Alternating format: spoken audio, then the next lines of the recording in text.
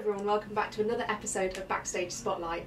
We have a bonus episode today with the lovely Adam Braham. Hi Mathilde. Hello, thank you for joining me. So, would you like to explain your role as an agent? For sure. So, as an agent, obviously, I represent and I look after performers, um, actors, dancers, singers. Um, we have a few people that do commercials. I also actually do have a very small list of a couple of creatives as well. Um, and obviously, predominantly, I run Betty Lane Management, which works in association with Lane Theatre Arts. So, a lot of my client list are students or soon to be graduates. Um, yeah, and essentially, my, my job, I think, for Betty Lane Management is to establish people there step into the industry to get them their first kind of auditions, their first contracts, and then beyond that. What a great role. How did it all come about? How did you get into doing the agent and casting work? Because obviously you are a former Lane student, so you've been on the performance side of it from a young age. Yeah, so I was at Lane since I was five. I started No baby ballet when I was five. Oh. So I've been I've been connected to Lane Theatre Arts for a long time. Um, I performed as a child, as you said. I did a lot of work as a kid, and then when I was older, I came to Lane when I was sixteen. I did the diploma course, and then I performed. You know, as you do, you go out. I, I worked for a few years as a performer, and I think for me, I quite quickly transitioned into the casting. Was the first thing that I did before agenting. Um, I started working for a company called Mad Dog Casting, which work on background supporting work. Um, and it was actually a casting director called Alenka Jelowicki who also casts uh, um, independently from that company. And I worked with her on a few projects, and I just realised that I actually had a passion for being on the kind of the other side of the productions um, and the creative side. So I started working casting. I then worked for a theatre called the Union Theatre. Um, my friend Sasha, I did a show there, and she actually said to me, "Did I want to cast a project for her?" Because I'd never worked in theatre casting. So I did. That was oh, that must have been over 10 years ago now I did that. Um, and actually, I've now been the in house casting director for the Union Theatre for over 10 years. So I've cast, oh, maybe 60, 70 productions for them over the last 10 years. Wow. Um, and then it was my current agent, actually, at the time, knew that I was interested in the kind of creative side of the industry. And she said to me, Did I want to work in the office and get to know how being an assistant was? Her current assistant was going on holiday, she needed some cover. So I did. I worked in the office a few days a week, and then it kind of went from there. And I loved it, and I started there full time. I realised that that was my passion, not performing anymore. Um, so I carried on, and then I've kept kind of freelance casting in and out over the last 10 years, but it was really the agenting that became my focus. Um, yeah, and I've worked for several agencies, and then I obviously went to actually went to PPA, another drama school, and I ran their agency before looking after their third year and becoming the creative coordinator of the college. And then now I'm back at Lane Theatre Arts running Betty Lane Management. Full circle. Full circle. It's fascinating, and especially how you can be going down one path in life, and then something just Mm. takes you off on a tangent, and it creates a whole new career that you didn't imagine having. Absolutely. I'm, I'm all about that anyway in life. I'm all about following your passion, following your joy. Um, I think it's really important, particularly I think in the performing industry. I think you have to find you have to find passion. You have to find the things that excite you. Otherwise, it can become really hard because it is. We know it can be a really hard industry. Um, I'm sure lots of people have said that. So, uh, for me, it was a very natural transition. I was very lucky. I know some people really try and find their place, but I kind of fell into it in a way. Um, but I did, yeah. I realised it brought me more joy giving people jobs and letting them know they've got a job than actually going through auditions myself. Yeah. It, it just didn't. It didn't excite me anymore. So, when you are working with a casting team Mm. on that side of the panel, how, what is the process of casting a show? So essentially, starting, God, at the very beginning, um, obviously to speak to the producer, um, who normally is the person that hires you. You'll then speak to the director, maybe the choreographer, the musical director, get an idea of what the show is about, get a feel for the show, and what their vision is. Our job really is to take their vision and to then be the kind of the, the in between for um, creatives, whether it's actors, the agents. We do a lot of agents, obviously, and we let them know the brief, what the show is going to be, what it needs to, what we're looking for in the audition room. We would then set up the auditions, um, arrange the timings, arrange calling people in, sending out the material, and then really make sure the day runs smoothly. Our job is to make the creative team have the easiest job possible when putting that show together. Um, and I think people get confused sometimes about what a casting director is. I think maybe they think we make a lot of the decisions. Our job really is to make sure people walk in the room and we present amazing options to the creative team so that their job is easier.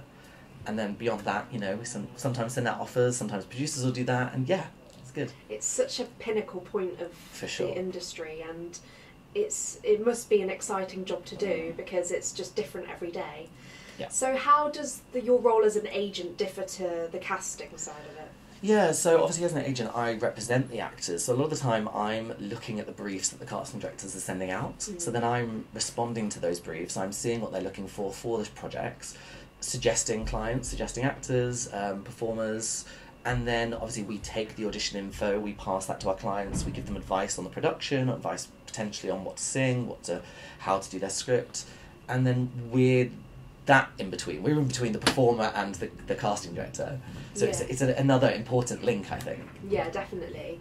And from your experience sending like self tapes Mm. through, what is the most successful way to film a self tape in your opinion? I think it just has to reflect you. That's one of the biggest things sometimes that if I, for example, if I'm casting a project and we do self tapes first and then we call people in the room, it's when they don't match up to what we've seen on the tape.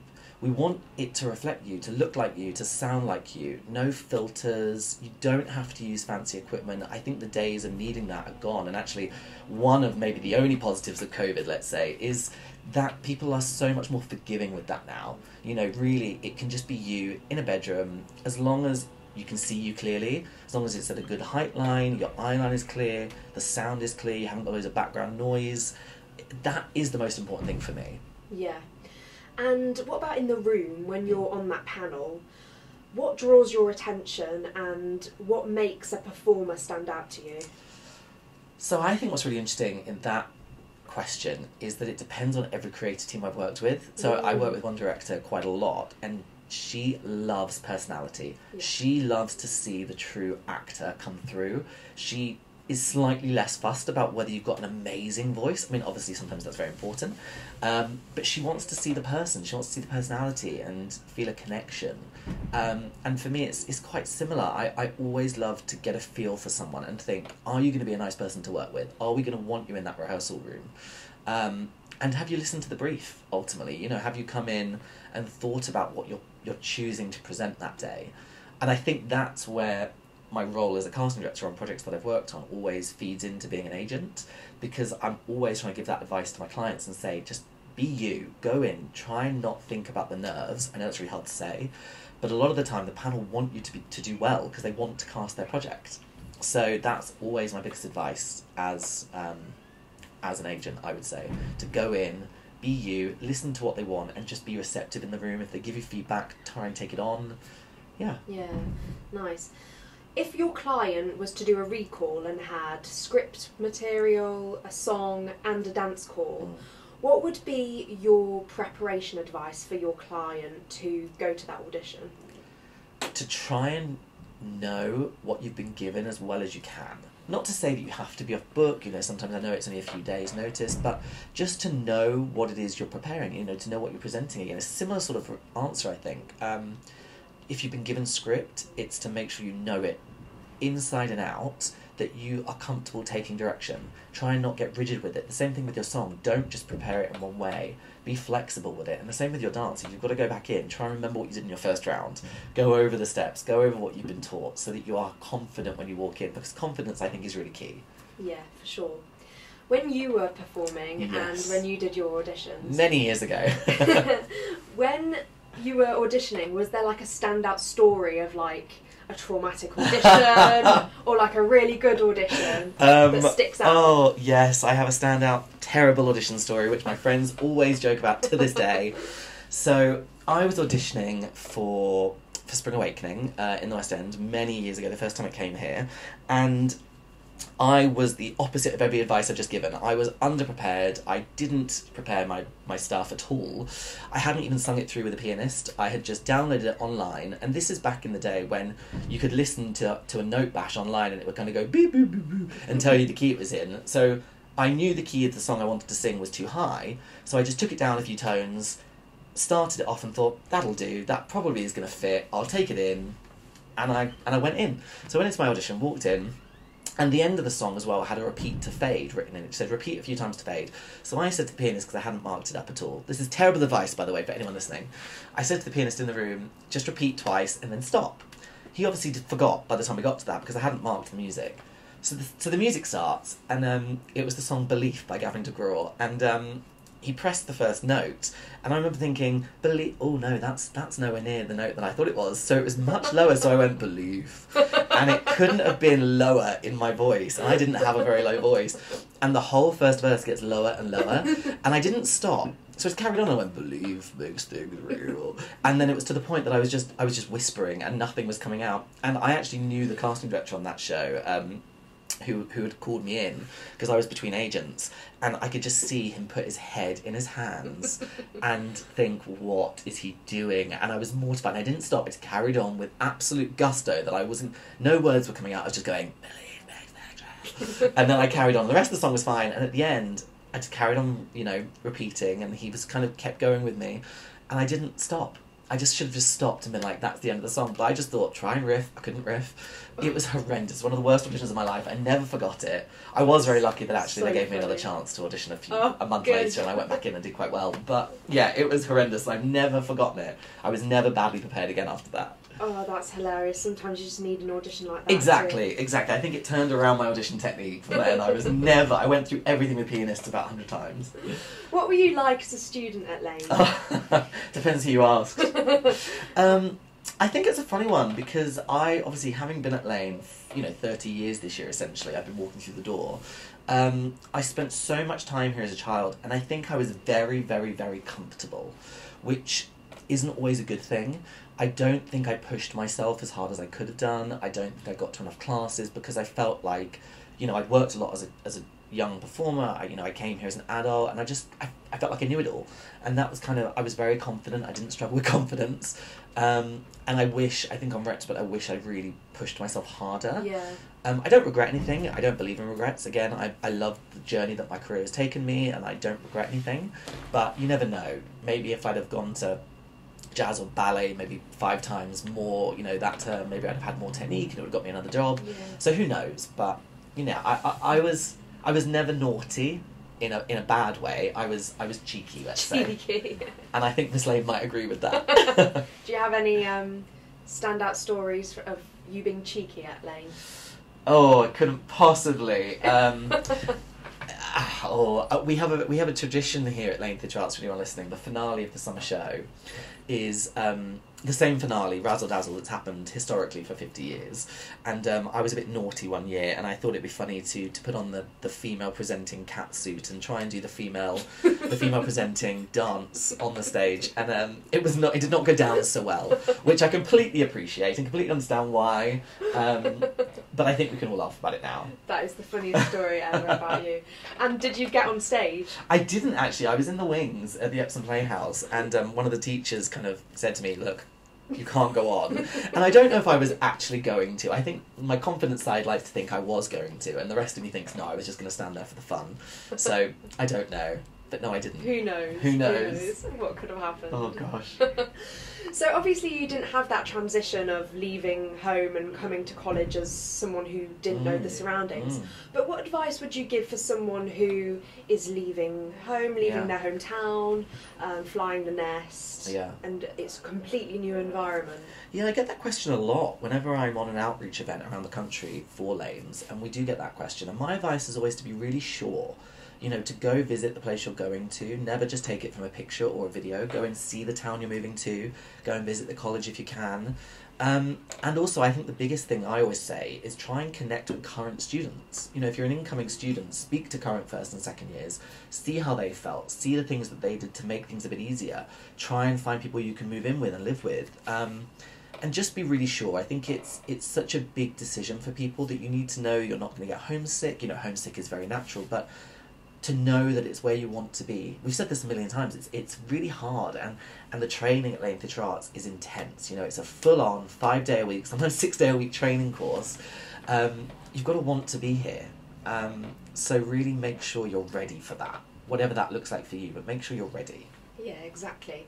So you mentioned doing outreach events for Yes. Lane. What do they include, and how can people get on board with those? Yeah, so the best thing to follow our social media or to register on our social media, we pop up uh, our pop up. we we put up our mailing list. So if you join our mailing list, you'll get access to all of our you know future events. Our outreach events happen a few times a year. We're going to be doing two in the autumn term. We haven't got the dates set yet, but keep listening for those at some point. Um, and essentially, it's a full day. We, we go to places around the country. We, we, we often go to places in Birmingham, Manchester, further afield, and you get a taste of what a day of training at Lane Theatre Arts can be like. We bring a faculty member with us. There is a dance workshop normally. There is a singing slash acting workshop normally. We also then do a Q&A, um, which I'm a part of, and the faculty members are also a part of. And you can ask any questions, whether it's about lanes or whether it's just about the industry as a whole. Um, and really anything you want to know about the idea of going to performing arts college really gives you a good taste today. It's so good that Yeah. we're doing more and more of that. Oh, I love them. I absolutely love them. I think it's really important that we reach out to as many people around the country as possible and let them know that there is this opportunity to go and train and what that looks like. And I think people have a preconceived idea sometimes of drama school, and it really lets them know this is what it is. You know, whether you come from an underprivileged background, we have opportunities and bursaries available. Whether you are living in an area that maybe wouldn't have access to come to Epsom and audition for Lane Theatre Arts, it's really about reaching everyone. Yeah. What is the most common question that you do get on those outreach days? uh, what the, the training looks like. You Yeah. know, really the biggest question is what does a day at Lane look like? So Yeah. we kind of talk through that um, and talk through the, the key points. And like I said, it's it's a full on training. You know, I don't shy away from that answer. I let people know it, it's fun. Of course, it's fun. You know, this industry. The good thing we are in a really good industry where you enjoy yourself, but it's hard work, and people need to be ready for that.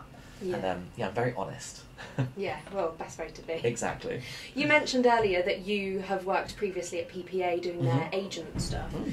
How does Lane differ from other colleges, in your opinion? I think from having only been obviously working at two colleges, but having visited lots of other colleges, I think the thing that sets Lane apart is that, you know, it sounds very cheesy to say, we're a family feel. I think one of the joys for me as the agent at Lane Theatre Arts, Betty Lane Management, is I really do know pretty much every student. You know, it's my mission halfway through first year, by the end of the first year, to know every first year. Um, and I definitely know every second and every third year. And I think that's really important. And it's it's a unique thing for me that by the time you get to the end of third year, I feel like I know people's strengths and their weaknesses and what you know the sort of right things to put them up for. And I think that's why we have such amazing graduate success rate. Yeah. Um, and we really do, you know, if you look at the industry as a whole, Lane Theatre Arts is employable. You know, we, we do so well in that respect. And I think that is one of our massive strengths. Yeah. So when one of your clients hit third year and they graduate and they still don't have a job, how long do you keep them in the agency for? So everyone gets representation for the full three years. Um, we obviously, some people when you graduate decide to venture on and Yeah. Get Um, other agents. Exactly, yeah, move on, which is absolutely understandable and ex- and great. Um, but everyone gets kind of a buffer time, I call it. They get a minimum of six months on the agency Yeah. after they graduate, which I think is really important. I think it gives people that stepping stone into the industry. Some people need a bit longer to branch out, to maybe get a job, maybe. It's that comfort. Exactly, and I think it's that familiarity. And then after the six months, it's a conversation. Yeah. It's a conversation of are you ready to branch out on your own? Some people choose to become self represented. Some people then move on to other agents. Some people end up staying. You know, we have a nice list of people that have stayed with the agency for many years as well.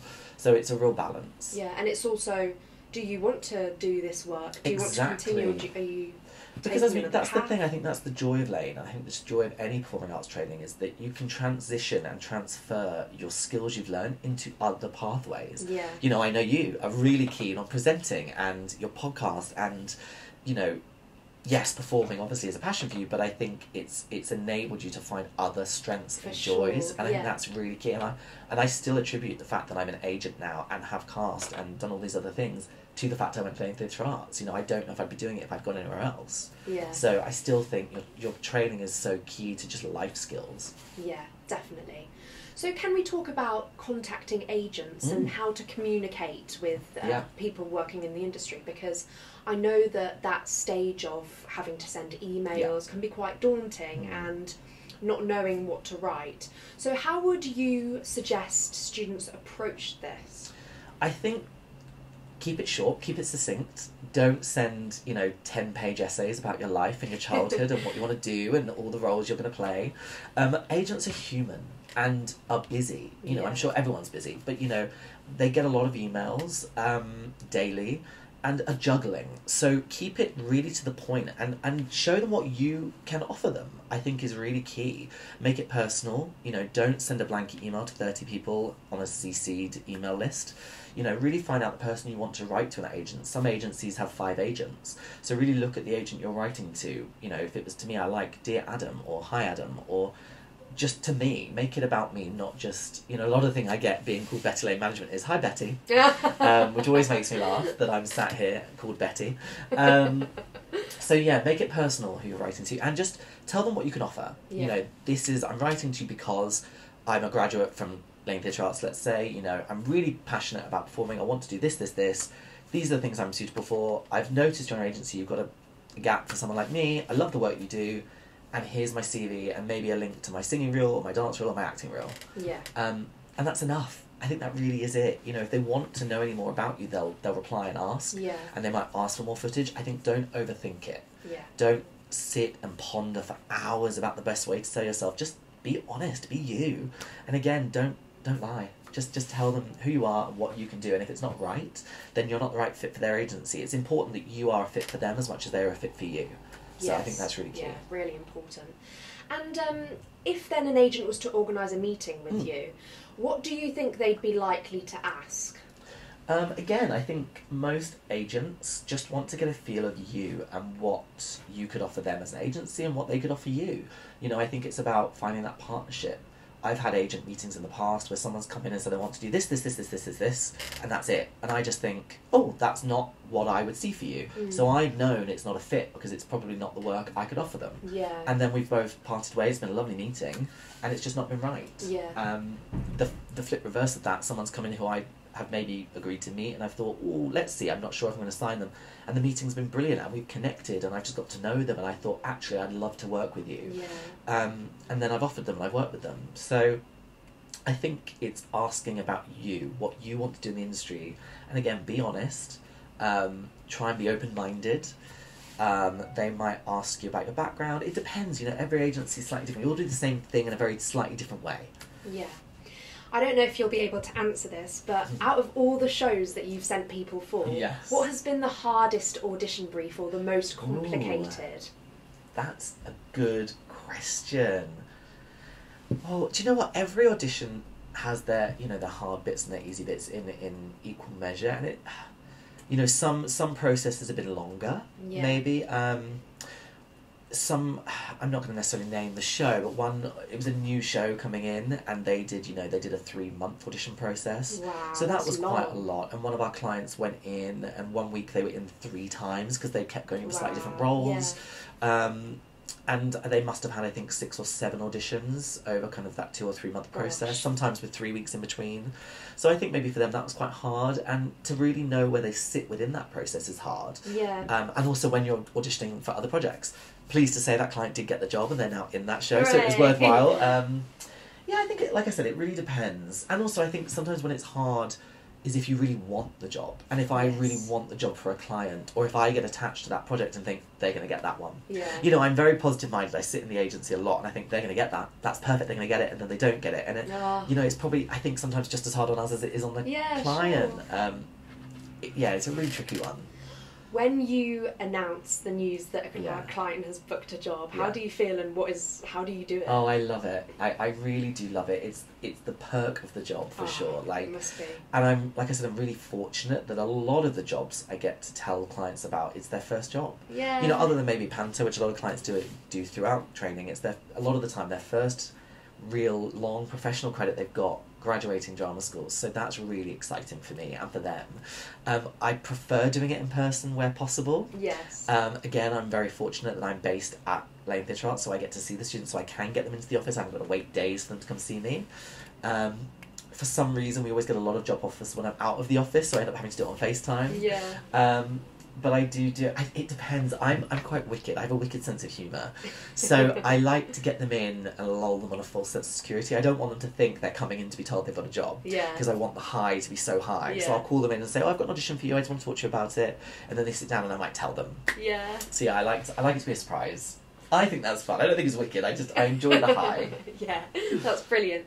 What are the reactions? Usually screaming, crying. Yeah, I mean, mix really. Some people get very shocked and go very quiet. I mean, it's it's so fascinating how people react. I love it, and then people run out. And it, again, the joy of being here is to see people run out and tell their friends, and their friends screaming, and it's it's so lovely. I Yeah. honestly, it's it gives me so much joy. It's, Such a heartwarming. Oh, I love it, and I, I, I always end up telling my family. I'll call them sometimes, give them a dissect of the day when I'm driving home, and I always tell them, "Oh, my client got a job today," and I tell them what it is, and I just, I get so proud. I'm like a proud uncle.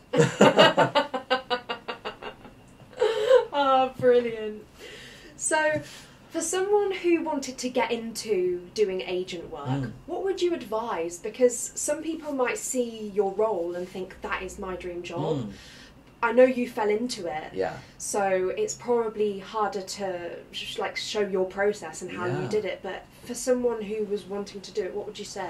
I think it might look like someone's dream because I make it look so easy to till. No, I'm joking. I really don't. Um, I I think my advice is do some research. You know, really Yeah. look. We, there's a website called the PMA, um, which is the Personal Management Association. You can look on there. They advertise a lot for internships and for oh, assistants. nice. Yeah. Um, so you can really see. Sometimes they're unpaid, sometimes they're low paid, but it gives you maybe a taster if you might want to do a month's internship somewhere and get a feel of what an agency looks like. Yeah. Um, again, every agency is different, but I think I know a lot of agencies potentially don't want current working actors. Maybe. Sometimes they they want people to work with them if they think they're ready to transition into it. Yes. just you know the information you might hear you know the confidentiality the thought that there's always that feeling i think the a breakdown might come in and you're sat there thinking oh i could do that. I'd still like to do that. And i think that's very hard. I think something that i was really lucky was with the second i was seeing breakdowns or sending out auditions i wasn't sat there thinking oh i wish i was auditioning for that i was actually very glad to know that's not me i'm glad i'm telling someone else about it i love theatre and i love tv and i love film but i love being a part of it without having to actually walk through the door and auditioning Yeah. um, so I knew it was right for me. So yeah, that would become my advice: is write to agents, and also even if they're not advertising, just write to agencies that you admire and say, look. I'm really interested in a career in the arts as potentially as an agent. I'd love to come and shadow you for a few weeks. Are you looking for any help? Are you looking for an intern? yeah. Um, and get a feel for what that looks like. Yeah. So you never know what could come from Absolutely. even just doing that. Absolutely. And you might realise, having done that for a month or so, that actually it's not for you. you you've done it and you've realised I've had people work in the past for me who've actually gone on to do other things in the industry because they realised agenting wasn't for them. Mm, So it's it's a really good way of getting a feel for what it is that you're passionate about. definitely. So if you were to have a muggle job, Mm. like a any any job that wasn't to do with performing Okay. arts, Yes. what would you do? Ooh, that's a good question. It would be something fabulous, something very well paid. Always because I love what I do now. I love it so much that I can't imagine doing anything else Yeah. that I don't love as much that I was just doing. So I'd have to be really well paid to balance the joy. Um, something with travel. I love traveling. Yes. So maybe do you know what I've always it's so ridiculous. I could see myself as like maybe a personal assistant to like a Ah. huge celebrity. I think yes. I'd enjoy that. I can see you doing I that. can see that, like managing their diary, booking in events. Yeah, I think just hopping on the that. private jet. hopping on the jet exactly. and if they're not there, oh well. Um, yeah, something like that. I'd love that. Or even, do you know what? Something really random. I'd love to be an events or party planner. Yes, I was just thinking an events yeah, I would also love like to do that. It's that. that's a real passion. But I love organisation. So again, Yes. probably why I love being an agent and why I love casting is I love organising. I'm such um, I've got that sort of brain where I like things in a certain way. I like to make sure it's all scheduled. Yes. I hate chaos and mess, which is why I my life is quite planned. And I feel like that's so important for your job. I think so. I think so. Well, for me anyway. I don't know for anyone else, but for me, I find it really important. I write a to-do list at the beginning of every day so that I can look at what my projects are for the day and then for the week. And I like to plan three monthly in my year. Yeah. I'm a, yeah, I'm a bit anal when it comes to things like that. Um, so I think party and events planning would be great for me. Yeah. I think I'd enjoy that. This is something I wanted to ask you. Mm. Does your day finish when you leave the office? Absolutely not. because how do you manage your schedule Yeah. with auditions coming in at like I silly think any o'clock? agent that says they turn off their phone at five o'clock or six o'clock and don't work until nine a.m. when they're back in the office, you know, yes, okay, there are times when you have to have a, a balance, you know, Yeah. a home life, and of course, people have children and family lives and personal things, you know, of course, however you juggle. But for me, I am. Again, I'm a bit of a workaholic. It's something I'm trying to balance better in my life. But again, because I find so much joy in it, I don't mind it as much. But I will. I'll check my emails sometimes eight o'clock at night, and you know sometimes it does happen. Sometimes a last minute casting has come in for the next day, or recall material, or you know, human error just occurs. You know, sometimes a casting director has realised they've not done something and they have to do it late at night. Yeah. And actually, when I'm casting, sometimes I do do that weekends and evenings, and my email signature says, "Please don't feel you have to reply. I'm Yeah. just doing the work in my hours that fits me." yeah. Um, so yeah, and again, you know, sometimes I work with international time zones, so I could be dealing with people in yeah. America or in China, where people are touring over in you know in Asia. So sometimes contracts and things do come in late at night, and sometimes it's actually better because I don't get replies. I can sit and send emails. So yeah, I do. I check my emails and. Yeah, I try and do find that balance though. Like I said, that you know, I try and say to clients that I'm not necessarily contactable out of hours unless it's really important. Yeah. And how often do you go and see your clients in the shows? as often as I can. I love it. Again, the joy for me is I, I enjoy theatre. I'm a musical theatre theatrical nerd, so I love it. So you know, I'll go to every opening night if I can. That's so nice. Um, I really do try and fly around the world if I can, depending where it is, and it's not too expensive. Um, but yeah, I, I do love it. Again, it, I think it's one of the perks. If you enjoy theatre, it's one of the perks of what we do, getting to see people. And again, for me, the, the pride of seeing someone on stage, a lot of the time knowing it's their first contract or second or third contract, or maybe something it's a contract they were just desperate to get and seeing them enjoying themselves. Yes. Um, same thing, seeing people on TV, seeing them in TV programs or commercials. I just love it. yeah. I just feel so Such so proud. Yeah, yeah. it really is. So the last question I always ask my podcast guests Yes. is if you could nominate someone to come and impart their knowledge on my podcast and I'll reach out, who would it be? Wow, that's a really good question, Mathilde. Have I been on anyone's lists? Um, well. I'm joking. um, who would I like to see on the? Oh, it would be someone. I'd love someone like Liza Minnelli. Oh my goodness, you know, right. I've gone high, Mathilde. I'm aiming big, or like Meryl Streep. Do you know? I feel Oh like Meryl. Streep just has so much to offer the world. You know, Oh. not just in talent, but from just experience. And I love. I really love. I'm such a sucker for finding out people's stories. Um, Mm. I love hearing people's backgrounds. I love finding out how they've got to where they are. You know, and I think that's why I'm, I'm fascinated with celebrity culture in a way, from people that have earned it and worked their way up, like people like Meryl who have worked and got there. And I love finding out people's stories. So yeah, someone like Yeah. that would be fantastic. Well, unfortunately, I think pigs would fly before I got Meryl Streep on here. you don't know, Matilda. But you, never don't know. know. You never know. I'm never going to say no. Yeah, always. Thank you so much, Adam. Thanks, It's Matilda. been such a pleasure having you on, and I hope everyone listening has enjoyed. And we'll see you next week. Bye.